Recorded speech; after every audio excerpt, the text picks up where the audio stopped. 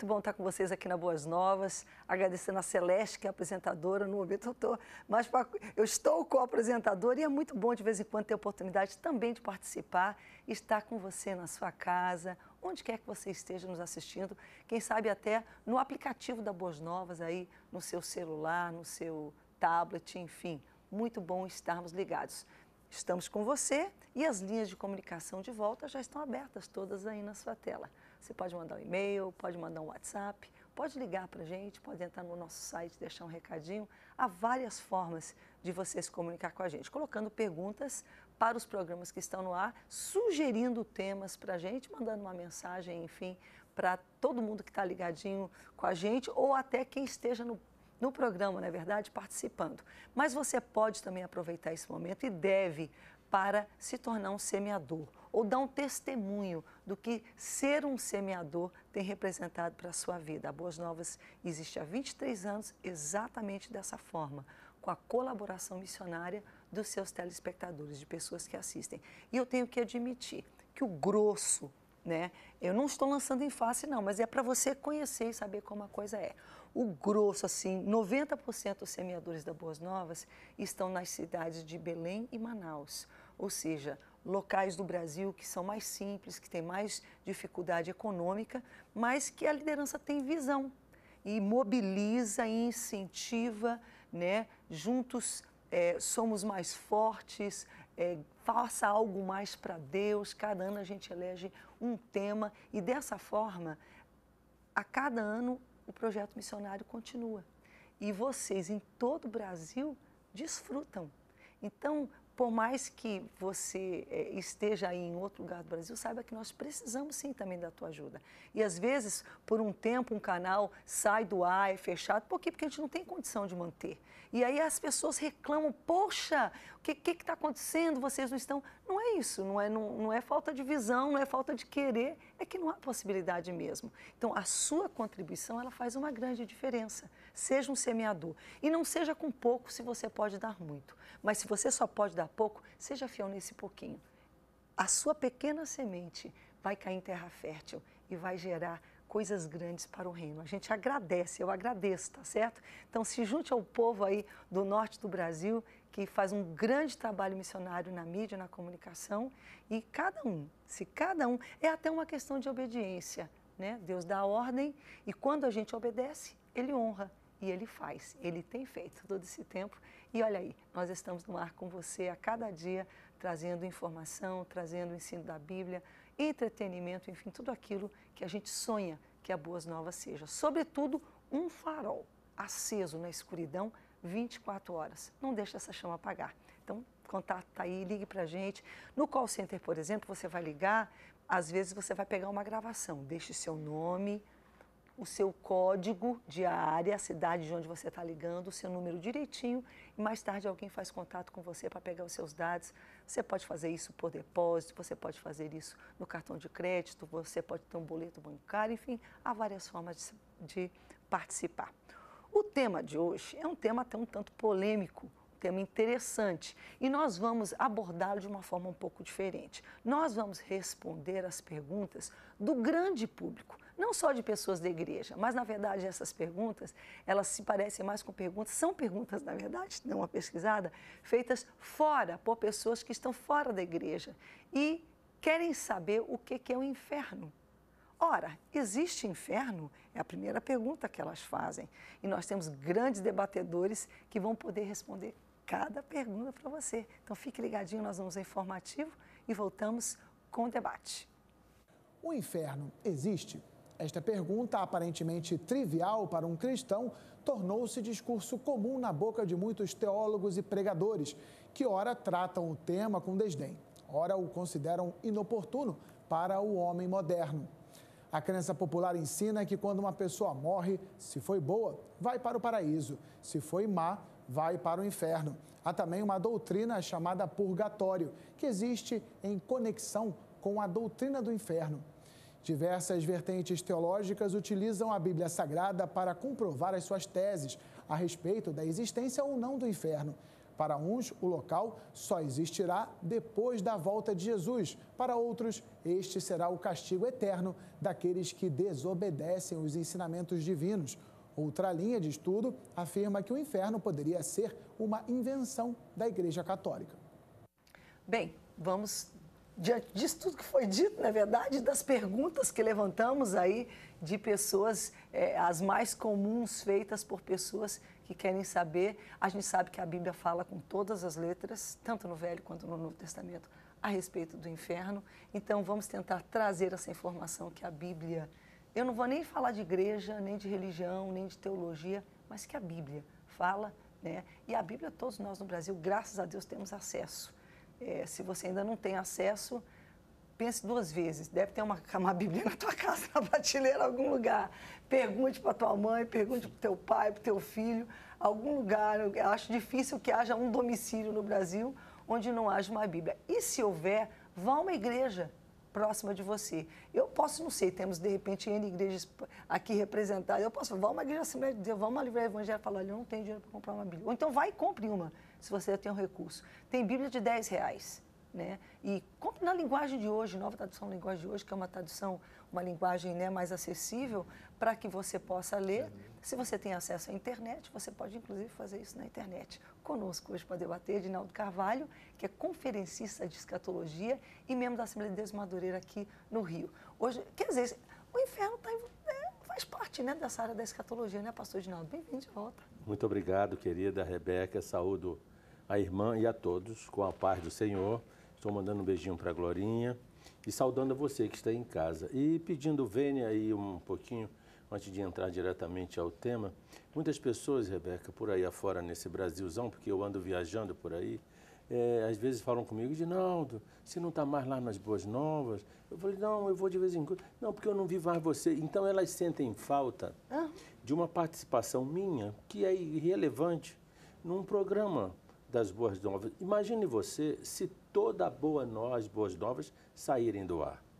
Se um pastor, as pessoas já sentem é. falta, imagina se a televisão comum. Mas a gente presume que vai estar sempre lá, né? Ar. Assim. É, não é porque é isso que eu falo. Tem os crentes, às vezes, reclamam de que algumas televisões que se dizem evangélicas estão mescladas com uma programação altamente secularizada, altamente mundana, e ficam criticando. Não, mas a televisão é evangélica, mas olha, é, programas de mulheres desnudas, disso, daqui, reclamam. Enquanto as Boas Novas é uma TV especificamente voltada para o reino.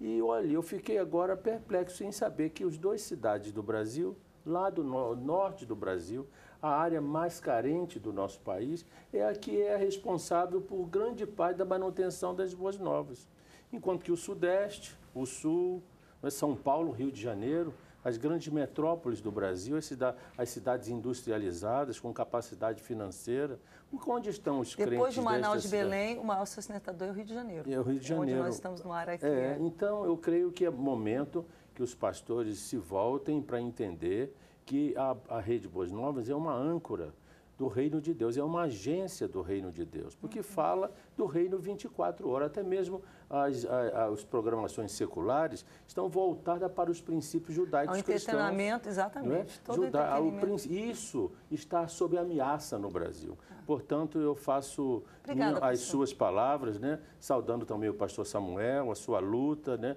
os, os meninos, André e Felipe, que Deus abençoe, viu, Rebeca, a sua tá família, certo, essa casa que e é... Tereza, tem a minha filha. E Tereza, o esposo dela é engenheiro, trabalha na Boas Novas também. Que maravilha. Essa casa é um ícone de telecomunicação. do reino de Deus no nosso país e no mundo. Tá certo, pastor. É? Obrigada. Muito bom ter aqui também de volta com a gente André Léo Félix, que é pastor e diretor do CDTI. CTPI. Isso, que é o Centro de Treinamento para Planejadores de Igreja. Bem-vindo, pastor. Obrigado, um prazer estar de volta aqui. E é, a última vez que eu estive aqui, eu tive a grata alegria também, né, é, de saber que o programa que nós fizemos aqui, falando sobre o Espírito Santo, é, alcançou um homem dentro de um presídio Aí nós temos nos comunicado com ele até hoje. Legal, um detento que se converteu lá dentro. Top. E a partir disso, né, nós temos mantido contato. Ele escreve cartas para nós. Eu leio as cartas para a igreja. A gente tem mandado material para ele. Ele é um diácono da igreja que acontece dentro do presídio. Então, eu queria deixar um abraço para o Alain esse querido irmão, nosso telespectador, é, telespectador irmão Cristo, fiel, nosso irmão irmão em Cristo, que está em cadeias, mas muito mais livre do que muitos que se encontram aqui fora. Olha só. Muito Não, bom. a gente recebe realmente muita comunicação e cartas que vêm de delegacias de presídios, enfim, pessoas que estão encarceradas dos cárceres. E, esse testemunho é maravilhoso. Maravilhoso. O André já, já, já compartilhou com o meu André, com o André, o André, esse testemunho? Temos que botar os dois. Não, o xará. não. não é. Top, top. E para completar o nosso trio, temos Rafael Brito, que é pastor da Igreja Missão Evangélica do Brasil, no bairro de Vilar, Carioca, aqui no Rio. Pastor Rafael, obrigada, bem-vindo. Muito obrigado, pastora Rebeca. Uma oportunidade única poder estar aqui e estar contribuindo com um tema de grande relevância para os nossos telespectadores. Eu penso que a Rede Boas Novas, de fato, faço coro aos meus irmãos aqui, colegas de ministério, e é uma rede que não pode parar.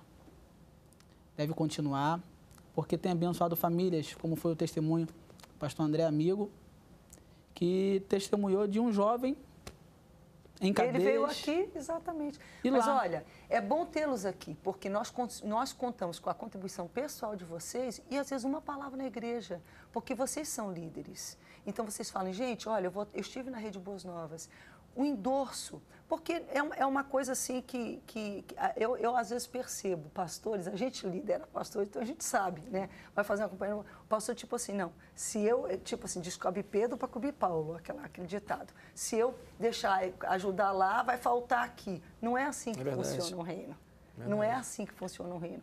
O que é de Deus, o que é de um projeto, às, às vezes eu, nós tivemos projetos na igreja, a própria Boas Novas, eu vi muito isso. Meu Deus, tanto dinheiro, podia estar ajudando os pobres, podia estar fazendo, construindo é, é, é, é igrejas na África. Não, comprando televisão, câmera, tecnologia, luxo, né? Aquele papo assim, o Samuel falou assim, irmãos, Parece que é esse dinheiro Judas, só existe porque Deus levantou esse projeto. O dinheiro da África está no lugar dele, quando o momento chegar, vai vir. Porque a gente vê aquilo e a gente pensa, ah, o não, o dinheiro só, ele só passa a existir a partir da visão, da fé. Que a pessoa tem fé e Deus provê. Então a gente agradece realmente essa palavra, essa solidariedade. Mas vamos lá ao tema que nosso telespectador está lá esperando. vamos lá. Inferno. As perguntas, né? A mais feita. Inferno existe? Ué, existe o inferno? Claro que existe. É, existe porque a Bíblia diz que existe. É, no Antigo Testamento, a irmã mesmo citou, são vários livros. O inferno começa a ser revelado na Bíblia em Deuteronômio. E depois vai a Salmos. Uhum. Deuteronômio fala, Salmos fala. Depois, é, Provérbios fala do inferno. Depois, Oséias fala do inferno. Então, é, no São hebraico... escritores, porque, gente, quando a gente pensa na Bíblia, a gente fala, a Bíblia fala, na verdade, quem fala são os manuscritos da Bíblia que foram escritos por pessoas diferentes, em tempos diferentes, que não se conheciam, que não leram necessariamente os escritos um do outro, mas há uma harmonia, há um, um de modo que eles juntos se, são, eles são conhecidos como um livro, mas Sim. na verdade eles são uma coletânea, não é isso, pastor? É verdade. De manuscritos que foram escritos aí num período de 1.500 anos. Por 40 homens. Por 40 homens. Judeus de, de homens é, Israel, apenas Os um. greguinhos lá pelo meio? Não, sim. não, apenas um não era judeu, Lucas. que era Lucas, era sírio, mas era prosélito, é, ou era seja, prosélito. era convertido ao judaísmo. E esses homens em, diver, em diferentes épocas, uhum. em diferentes culturas, não é? é? foram movidos pelo Espírito de Deus para terem uni, é, unidade, é, sincronia, harmonia entre toda a revelação de Deus para o homem. colocar isso, porque a gente entende que não é uma ideia de um que foi copiado. Não. não. Nós já vamos dizer que é o break, eu volto com os senhores, mas claro. só para completar. O próprio Jesus mencionou o inferno. Sim, em Lucas, em Mateus, é, em Apocalipse, né? é, é, esses livros todos. O André tá e, aqui. E, e- e- e Jesus alertou sobre o inferno. Vamos lá, rapidinho, uma palhinha. É porque, não, na assim verdade, dá, né? é quem mais fala do inferno na Bíblia é Jesus, por incrível que pareça. Quando a gente lê os vários capítulos né, do- dos evangelhos, Marcos, por exemplo, o evangelho de Mateus, Lucas, Jesus várias vezes faz menção ao inferno, confirmando o que os, os escritores antigos já haviam dito e que Paulo né, e os demais apóstolos, os escritores do Novo Testamento, vão também completar, dando continuidade à visão. É, é óbvio que o inferno E o existe. evangelista João em Apocalipse. Em Apocalipse também. E assim, eu costumo dizer, né? Se o inferno não existisse, o céu também não existiria. Então, assim, céu e inferno são duas realidades, mas é, duas realidades que se complementam, por assim dizer. E é um arquétipo. O que, que é um arquétipo? É uma Vamos imagem. fazer o seguinte? Vamos. Vamos fazer o seguinte. Eu volto contigo, Rafael, mas vamos continuar já já. Fique ligadinho que a gente volta num instantinho. Cabeça pra cima. Pra cima. A gente pensa que a gente está debatendo o inferno, né? Do que, que a gente está falando no intervalo? De graviola, cupuaçu, bacuri, Açaí. as frutas do norte do Brasil. É no céu. É, tá mais pro céu No que pro céu. inferno isso, né? Vamos lá. Bem, a, a pergunta colocada, e estamos hoje fazendo o programa da perspectiva de pessoas comuns, não necessariamente pessoas é, que frequentam a igreja. E a primeira pergunta, a pergunta mais feita, é se simplesmente o inferno existe. Eu tinha ficado de voltar, eu creio que o pastor Rafael, vamos lá. Eu penso que as escrituras, de forma muito clara, muito clara e cristalina, apresentam o inferno como uma realidade. Jesus falou mais do inferno do que propriamente do céu. Tocou mais no assunto do inferno do que propriamente do céu. Tamanha a importância, a relevância deste tema que Jesus não deixou fora da sua caminhada aqui na Terra. Então, ele deu atenção para este tema. Seria importante também que nós atentássemos para ele, porque é, fala de uma eternidade. Muitas vezes nós, diante de uma sociedade que caminha para uma sociedade sem Deus, materialista, tende profundamente a negar e resistir o inferno. Como é que pode existir o inferno?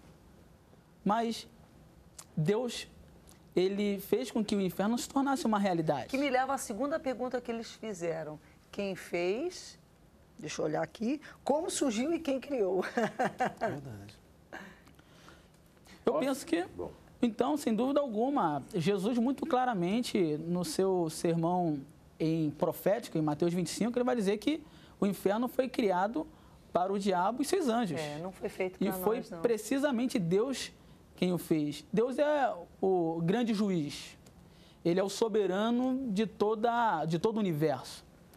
E como soberano de todo o universo, ele é o padrão moral, ele é o parâmetro de todas as coisas. Então, quando se pensa no inferno, muitas vezes a pessoa olha para si e fala: Mas eu sou uma pessoa tão boa, Pastor Edinaldo. Eu sempre fiz o bem, nunca matei, nunca roubei, eu pago as minhas contas em dias, não falo mal de ninguém, sou uma pessoa de moral ilibada, pessoa direita, correta. Eu então certamente não vou para o inferno. Deus não vai me mandar para o inferno, porque Deus pedir é para bom. você segurar essa resposta, porque essa é uma das perguntas um pouquinho mais na frente. E um, um dos pressupostos né, da, da, da negativa ou da negação do inferno são muitos, né? É, o filósofo Sartre dizia o quê? Que o inferno são os outros, né? Que você não O precisa... inferno é aqui, por É, exemplo, que o inferno é aqui, dizem. são os outros. Você não precisa de... Ele diz de enxofre, de fogo, nem de cadeias. O inferno são os outros, o inferno é aqui. E a, a visão mais universalista, que parte da bondade de Deus. Deus é muito bom. Como que um Deus bom, maravilhoso, vai lançar pessoas, suas criaturas no inferno? Então, são muitas as vertentes, são muitos os caminhos que apontam no sentido da negativa ou da negação do inferno. Entretanto, é, a Bíblia, como já estamos falando aqui, ela é clara. Agora, o pressuposto maior da negação do inferno é a negação do próprio pecado. Porque a partir do momento que a pessoa nega o pecado, eu vi isso hoje numa aula, né? Como é que você vai chamar o sujeito de pecador? Ele é bom, É. ele paga os seus impostos, é um bom pai. como que uma pessoa boa pode ser lançada no inferno? Então, o pressuposto, na minha visão inicial, da negativa ou negação do inferno é a própria negativa e negação do pecado e da santidade e da justiça de Deus. Agora o colocar- pastor Rafael falou algo interessante. Ele disse que Jesus falou mais do inferno do que do céu. Porque, na verdade, Jesus não veio falar do céu. Porque nem ele está no céu. O céu é insondável. Os céus vão ser destruídos pelo fogo. Jesus falou do reino. O tempo todo Jesus fala aos seus discípulos, judeus, não foi para a igreja, foi para Israel, a respeito do reino.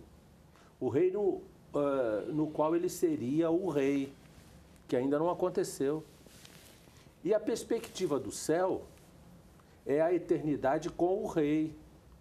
Não que não já estejamos vivendo a eternidade, porque já estamos vivendo a Uhum. A eternidade. eternidade existe dentro de todos nós. Não, não é questão de dentro, não. Nós estamos num flash da eternidade. Uhum. Porque se a eternidade é o alfa e o ômega, o cronos, o tempo humano, está dentro desse contexto. Mas quando eu disse isso, pastor, eu quis Sim. dizer que todos nós Eu temos compreendo. uma alma É- é um- e é, ela é sim. É a eterna, ela linguagem não é romântica. passageira. É a linguagem romântica. Agora, do ponto de vista metafísico, a eternidade já está acontecendo. Entendi. Ela não vai acontecer, senão não, Não. era a eternidade.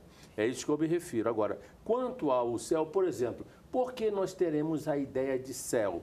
A ideia de céu é insondável.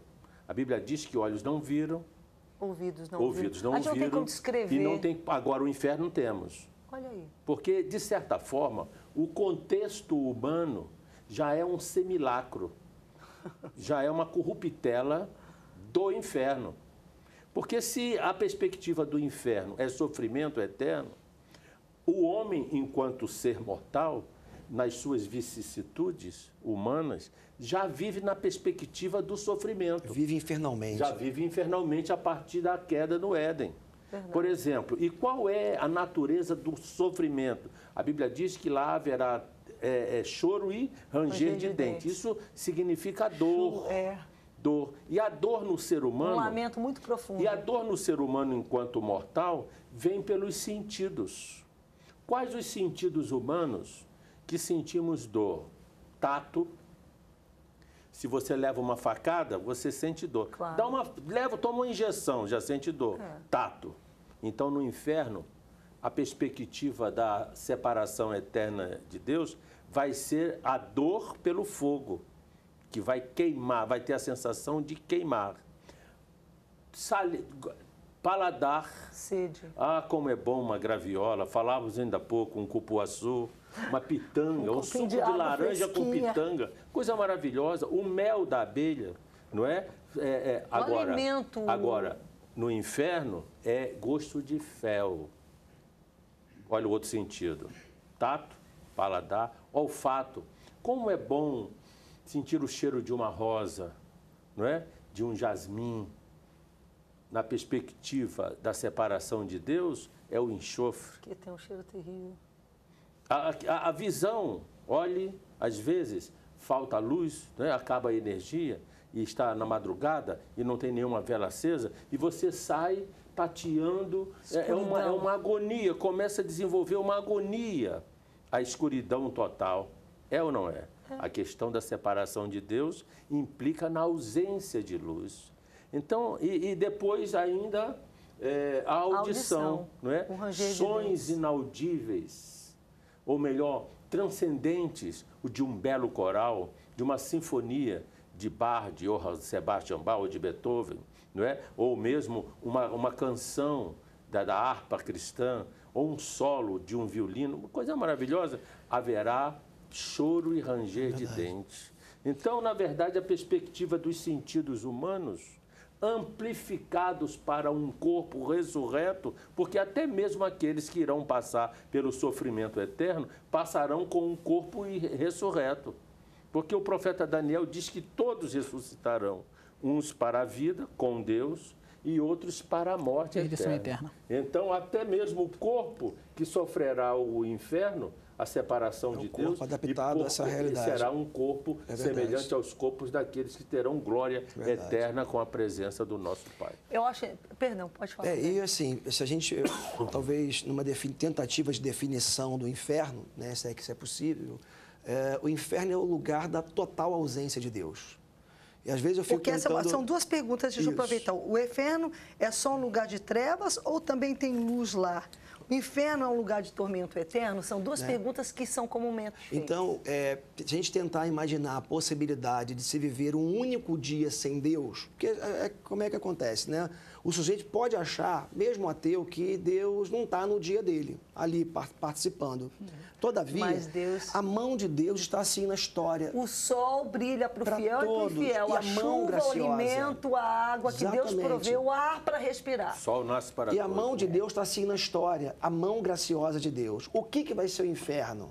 O inferno é um lugar, como a Bíblia diz, mas vai ser aquele dia em que Deus vai tirar a sua mão de graça da história e o- aqueles que forem viver essa realidade sem Deus nesse lugar, porque o termo usado em, em- em Marcos, no Evangelho de Marcos, no capítulo 9, é, é um termo que dá a ideia de topografia, de topos, de lugar, é um lugar específico, então já responde parte da pergunta, porque o inferno é um lugar que Deus criou para o diabo e seus Que anjos. fique claro, porque essa é uma das questões que eu gostaria que rapidamente, são uns dois minutos nesse, nesse bloco, a gente se detesse. Porque é- é- ela, para mim, responde uma das questões das pessoas questionarem, não, mas pera lá, se Deus é bom, se Deus é amor e Deus é justiça, então como é que ele vai mandar seus filhos? É que não foi feito para nós. Exatamente. Vai para lá quem quer. Deus não quer que a gente vá para lá. Foi criado para o diabo Exatamente. e seus anjos. E, e para aqueles que não se adequam, adequam que não obedecem que não a sua palavra, Deus. aqueles que não querem estar com Deus, que não querem desfrutar dessa vida maravilhosa. Sabe o que, que me ocorreu agora?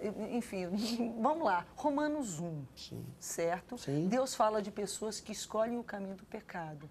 E elas escolhem de uma forma, ou seja, elas dão as costas para Deus. Porque o perdão. Rebelião é a palavra. É, é quando a, a rebelião, exatamente. Porque a Bíblia fala: quem crê em Deus é salvo. Quem não crê permanece condenado. Ele não vai ser condenado por Deus. Ele mesmo já estava.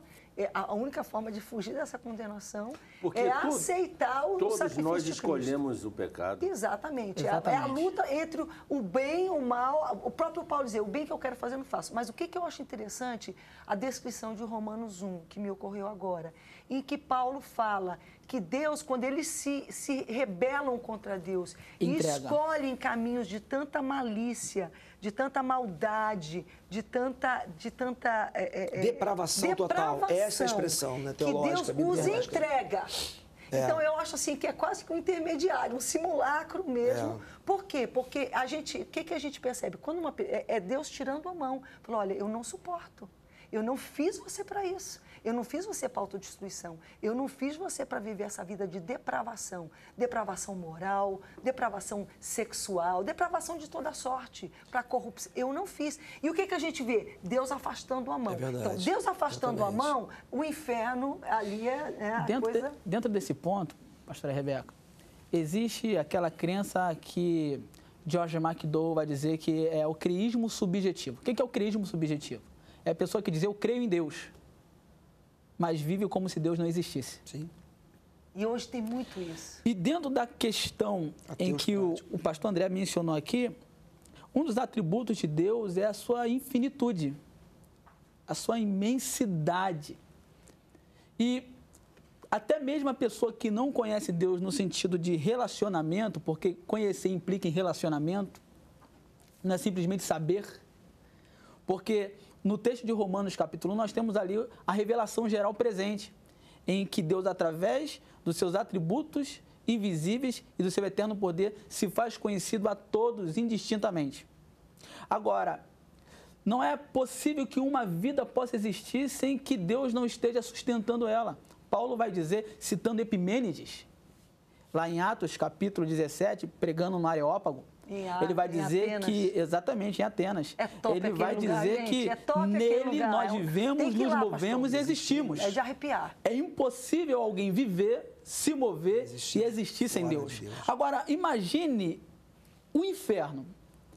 Porque a maior angústia do inferno será precisamente a ausência plena da, do coração paterno de Deus, mas uma presença da sua ira. Porque nós não podemos olhar para o inferno de uma forma romântica, mas enxergar o inferno como local de punição contra aqueles que não aceitaram a dádiva da graça. A oportunidade que Deus deu em seu Filho Jesus Cristo, que ele puniu, porque a Bíblia vai dizer muito claramente que Deus puniu o pecado no seu Filho. É. O castigo Ele que nos traz a coração, paz né, coitado? estava sobre ele. aguentou e pelas aquele- suas pisaduras fomos sarados. Mas ele coloca diante de nós a oportunidade de nós nos voltarmos para ele, não simplesmente crer, porque existe a questão do cresmo subjetivo, como falamos aqui, eu creio em Deus, mas, a- a- não se a- compromete. a perspectiva mas o arrependimento, Da concretização é, de, da ligação com Deus é a objetividade Exatamente. no agir.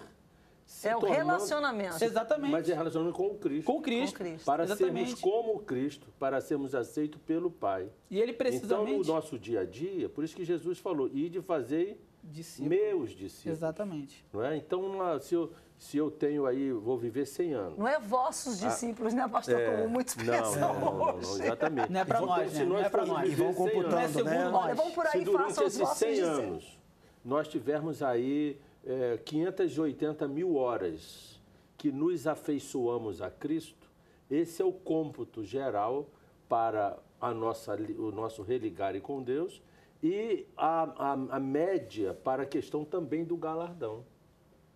Porque a estatura E aí do que muitos vão se enganar, A né, estatura achando do que- varão perfeito é a partir, por isso que vai ter graus de glórias, tanto no inferno quanto no, no, no, no- no- na Será eternidade castigado com com Deus. muitas Ou, exatamente, de acordo com as suas obras. Nós temos que ir ao intervalo, mas isso nos traz a, a uma outra pergunta muito feita, é se tem jeito de ter salvação no céu. A pessoa vai pro- no inferno, inferno. vai para o inferno, tem como eu trazer, te- tem, tem como salvar essa pessoa que foi para o inferno? Volta já já. Cabeça pra cima. Pra cima. E a gente continua discutindo aqui no intervalo. Bem, a pergunta que ficou é, tá, o, indivíduo é, escolheu, porque nós temos livre-arbítrio, a escolha é nossa, o, inferno não foi feito para nós, mas nós poderemos ir para lá se nós escolhermos rejeitar Deus. Olha só, gente, ninguém nega, acho que é uma, é uma das coisas, é um, um dos grandes dramas, inclusive, do nosso tempo. É, nós somos corpo, alma e espírito. Hoje existe o culto ao corpo e algum culto ao místico, né? Por quê? Porque simplesmente algum tempo quase que se quis afirmar ou se afirmou que não, que não há o espiritual, não há o, o, o, o místico. Só que se- não demorou muito não para chegar à conclusão que realmente não colava, porque tem muita coisa em nós que não é só físico não, e não é mesmo, não é verdade? E nós temos então aquele lado mais da nossa psique, da nossa alma, da nossa inteligência, mas nós temos também o espírito, que é onde Deus preparou a sua casa para habitar em nós. E nós podemos dizer para Deus: Deus vem, toma o teu lugar, porque é dele. Ele fez para ele. Ou dizer, não, Deus, eu não quero você na minha vida, eu quero você. Nós temos esse direito. E é justamente esse direito de nos achegarmos, não acreditarmos apenas, porque eu acho que o, o brasileiro, o bom brasileiro, como a gente diria. Crê até demais, né? E, e aqui, eu não, eu, eu, eu não desrespeito até quem se diz ateu. Eu acho ele até mais aplicado É verdade. em ter, em- em- em- na sua busca de uma verdade do que aquela pessoa E ética que e moralmente, sabe, muitas é, vezes, se- isso né? do que aquela pessoa então não, não- aqui Porque não a há rigor o ateu está certo. Deus não existe. Deus é Deus é. E graças a Deus, ele diz no mas, final. né? é, mas, mas brincadeiras e trocadilhos à parte, a, há uma- a, a- a medida. E, e- e olha, deixa eu dizer, como a maturidade nos ajuda nisso. É verdade. Eu tiro por mim. Eu, tem percepções que eu tenho hoje que eu não tinha quando eu era mais nova. Que eu vejo e falo, meu Deus, eu é- é o autoconhecimento, o tempo passa. Você vai chegando a, a- a certas maturidades, você vai, de repente, eliminando aquelas coisas, aquelas vaidades, aquelas bobagens, as coisas que você corria atrás, e você vai vendo que é tudo bobagem. E vai ficando, geralmente, se você tem um pingo de bom senso, aquilo Tudo que é- vaidade, como diz Eclesiastes. né? Você está entendendo? E você começa a entender, epa, tem algo mais aqui, tem algo mais aqui. E nessa hora, então, hoje, se escolheu dar o nome de místico para muitos a isso. Mas nós estamos aqui dizendo que, é, e nós cremos que a Bíblia é o livro dos livros, ela é a mensagem revelada de Deus através de escolhidos dele que trazem para nós né, a, a- a sua palavra. Essa palavra nos fala que o, o inferno foi feito para o diabo e seus anjos. Agora, se nós rejeitarmos Deus e não deixarmos que Ele ocupe aquele lugar que Ele fez para Ele mesmo, em nós porque Ele nos fez, então nós estamos caminhando para um caminho oposto, longe, distante dele. E há muitos que creem, e há religiões que apregoam, que a pessoa de repente pode escolher esse caminho então de dar as costas para Deus, pode até viver uma vida louca, realmente depravada, ou às vezes até uma vivi, achar, achou que vivia uma vida boa, mas não, não deixou Deus ocupar o lugar. E a Bíblia é clara: quem confessar o meu nome, eu o confessarei diante de meu Pai. Então, é, é- é- a premissa para comparecer na presença de Deus e ter entrada no céu é confessar a Cristo, é buscar relacionamento com Ele. Agora, por que, que eu falei tudo isso? É porque muitos, então, creem que por esses motivos que eu coloquei, ou porque foi bonzinho, ou porque realmente aprontou muito, mas coitadinho dele, mas agora a gente vai fazer muitas penitências e orações e, e velas e oferendas, enfim, tem várias crenças. Como é que é isso? Uma pessoa, que- a pessoa que vai para o inferno, tem salvação para ela? É, é, se tivesse salvação para a pessoa que estava no inferno, Jesus não Pra que haveria... Jesus morrer, né? Não, não, não, ele não teria alertado. Ah, tá. Ele não teria dito, olha, cuidado com o inferno. Olha, o inferno está separado para o grande rebelde, porque o, o, o- o pecado Ao original... homem é dado morrer uma só vez, diz Hebreus. Depois disso vem o juízo. Vem o juízo. Todos só morrerão uma só vez. Agora, quem morre duas vezes, só morre uma. Mas só quem, quem morre uma, morre duas. Isso não é trocadilho, isso é matemática do reino. Porque nós temos que morrer duas vezes. É. Morrer porque morreremos. Para a carne. Não morrer porque morreremos. E morrer para o sistema maligno. Morrer para o diabo.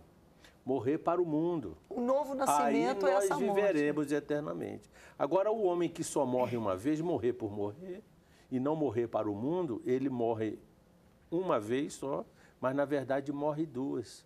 Porque morre porque morreu e morre, ele- e morre eternamente. Eternamente, fica Porque separado a de Deus. separação de Então Deus o é senhor morte está dizendo eterna. que se ele escolheu esse caminho e ele morreu, não tem volta. Não tem volta. né? Por- aquilo- é A, a filosofia, né? porque isso é filosofia, Hum? que diz que o homem tem salvação, até o diabo tem salvação. Universalismo. É o universalismo, que tem uma Radical. corrente aí Tem, de teólogos. tem. de- eu nem, nem critico. Está havendo esse- um ressurgimento, eu inclusive, nem, disso eu nem critico É. esses teólogos, é porque eles têm um coração tão bondosos. Que querem ser Ele- mais bons do que eles Deus, né? querem ser mais real do que o Cristo. E salvar até mesmo aquele que por... Porque aqui foi falado, inclusive pela pastora, que Deus fez o homem com o livre-arbítrio, na perspectiva do homem ser igual a Deus. Por isso que o Deus colocou no homem a sua natureza, criando a imagem e semelhança. Para Ele transferir. soprou neles. É, por quê? Porque Deus é livre. Deus não nos criou como máquinas, como computadores que pudessem ser programados. Robozinhos. Deus nos deu a capacidade de nos autogovernar. E nessa autogovernança, optar se gostaríamos de seguir com Deus ou seguir contra Deus.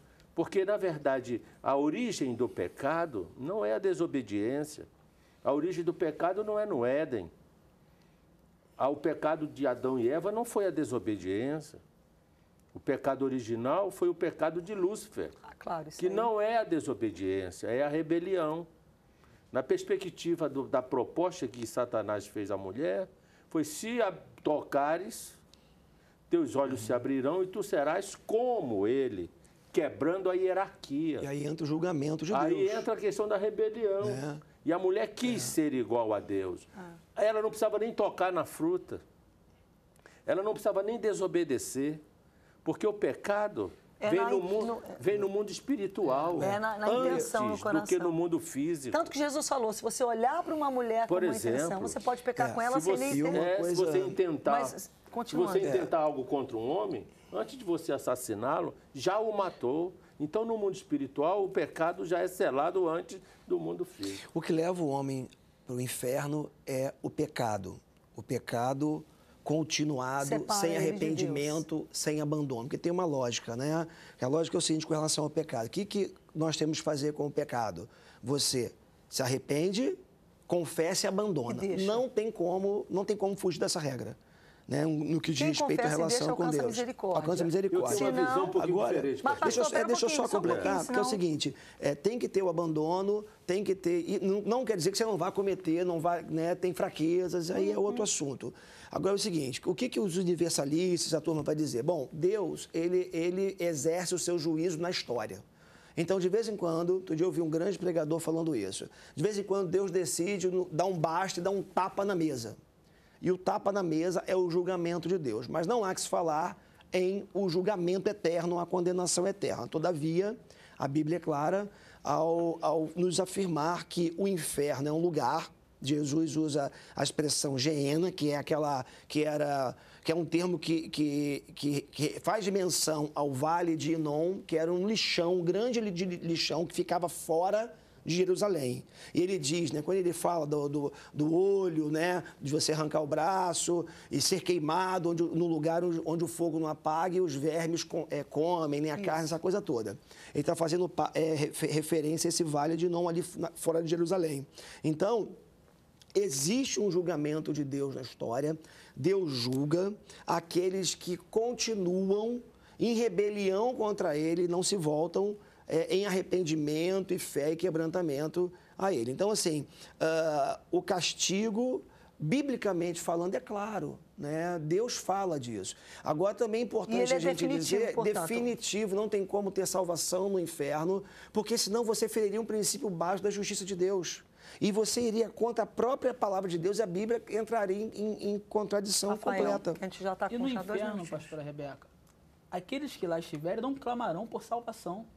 A gente tem uma visão romântica, muitas vezes, de que a pessoa que vai para o inferno vai buscar salvação, vai querer salvação, vai querer a solução daquele problema. Na verdade, terão ódio de Deus. Jesus, muito claramente, quando andou aqui entre nós, ele, no João, em João capítulo 3, no mesmo texto que tem um texto áureo, Deus amou o mundo de tal maneira que deu seu Filho unigênito para que todo aquele que nele crê não pereça, o pereça é perecer eternamente, mas tenha vida eterna. No mesmo contexto, vai dizer que os homens amaram mais as trevas do que a luz, porque as suas obras eram mais. Paulo, ele tomando as palavras Caim. do rei Davi, lá de Salmo 14, Paulo vai aplicar de forma teológica em Romanos capítulo 3 e vai dizer que não há um justo sequer, não há quem busque a Deus, não há quem tenha interesse por Deus diretamente falando, porque todos se extraviaram.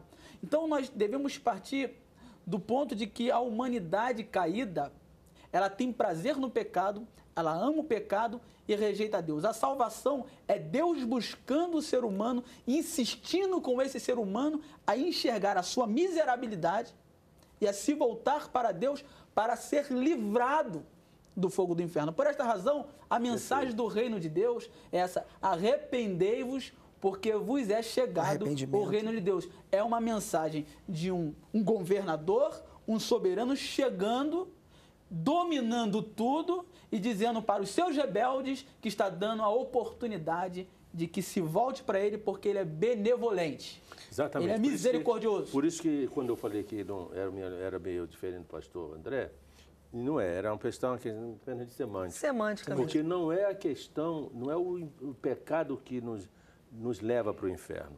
Não é. Porque se fosse assim, eu já estaria no inferno. Não, é claro. Todos nós estaríamos Sim, claro. no inferno. É o fato de reconhecer o pecado, e o pastor então foi brilhante na sua exposição, se voltar para Jesus. Então, o que nos livra do inferno é Jesus. O que alcança e deixa, alcança a misericórdia. Em todos os tempos. que confessa e É, deixa. em graça de todos Deus, os tempos. Inclusive graça. antes, antes de Jesus ter visto, ter vindo à Terra.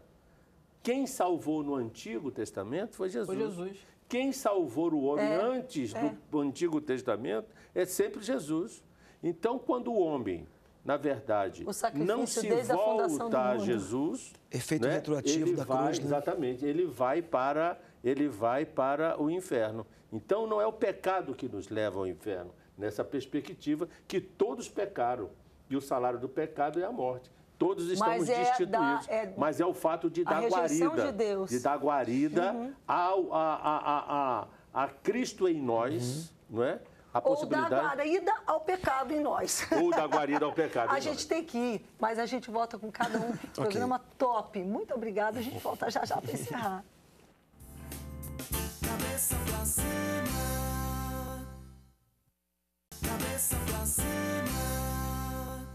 A gente vai encerrando um programa muito interessante sobre um tema pesado, mas eu creio que até conseguimos é, debater de uma forma que trouxe informação, que é o que a gente precisa para tomar boas decisões. Afinal, vai para o interno, nós concluímos aqui, vai para o inferno, quem decide.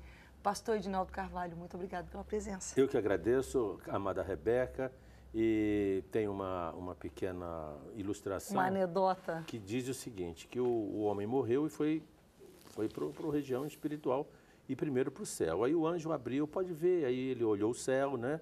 Aquele lugar calmo, plácido, tranquilo, as pessoas caminhando, os riachos, né? Agora você vai ver o inferno, para você optar onde você quer ficar. Chegou no inferno, olhou aquele som extraordinário, todo mundo tomando uma redonda, uma cerveja quadrada, redonda, etc. Muitas mulheres bonitas desfilando, aquela festa. Satanás veio receber. Pode vir, meu amigo, aqui você vai ser sempre. Garçom, por favor, sirva aqui o nosso convidado. E ele se sentiu ali muito bem, estou em casa. Aqui é maravilha, né? E depois voltou para decidir onde é que ia ficar. Olha, sinceramente, eu não quero ficar aqui no sofrendo, não, céu, né? não, né? Não quero, está muito, tá muito mórbido, está muito parado, muito, sabe? Isso vai me dar tédio. Eu quero ir lá para o inferno. Aí o elevador desceu novamente, quando ele abriu... cuidado que se descer, não tem mais volta, ele né? desce- é, agora lá, definitivamente. Quando ele desceu, que abriu, aí Satanás estava lá já com o garfo em brasa,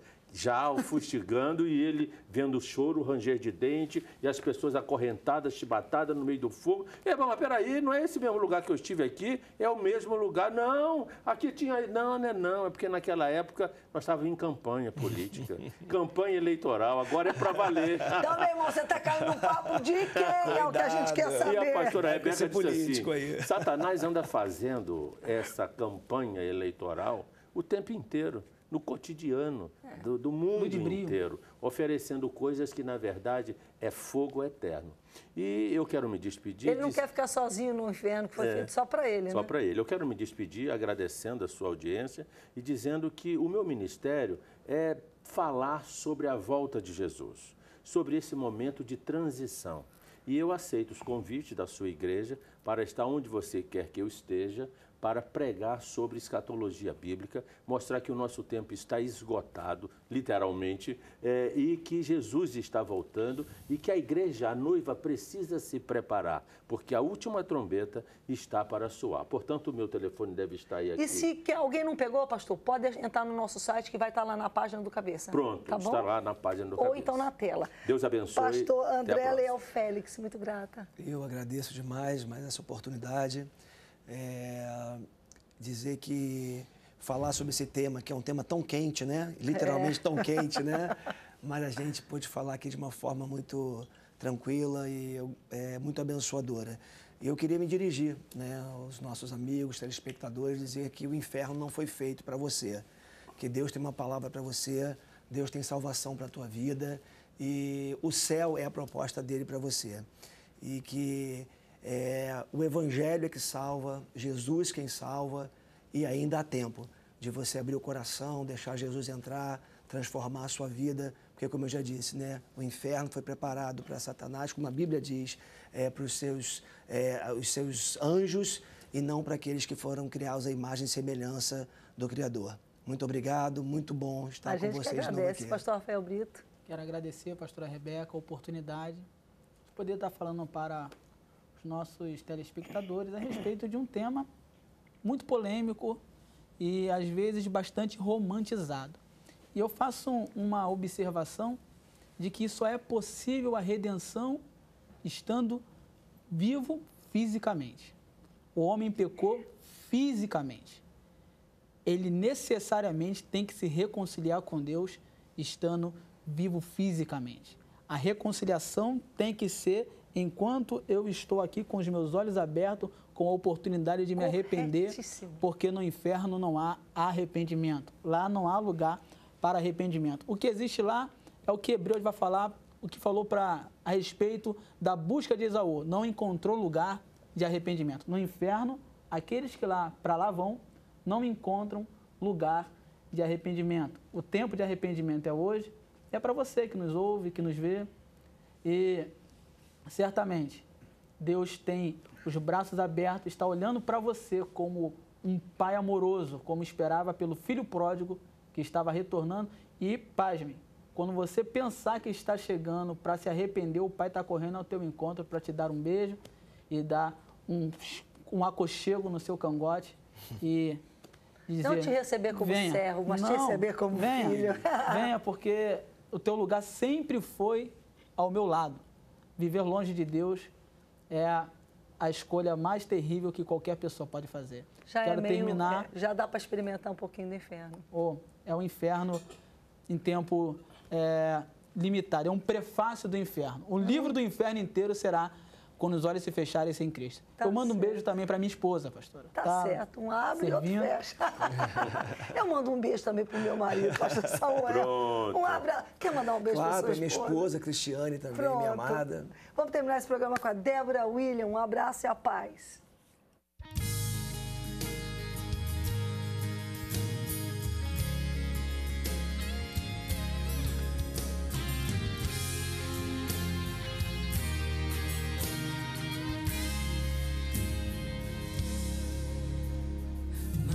manancial no deserto, fonte de vida. Estou sedento, vem me saciar.